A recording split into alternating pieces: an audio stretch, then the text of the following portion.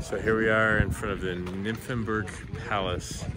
So the king was awaiting the heir to the throne. Um, so Max Emmanuel was born in 1662 and they were so excited that they built this palace in his honor.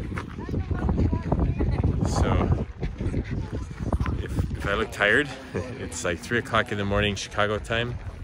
10, uh, we're seven hours ahead, so it's 10.30. See a lot of ducks and geese and swan here. Uh, the temperature here is about 72 degrees. It's beautiful. So, beautiful palace. Talk to you soon.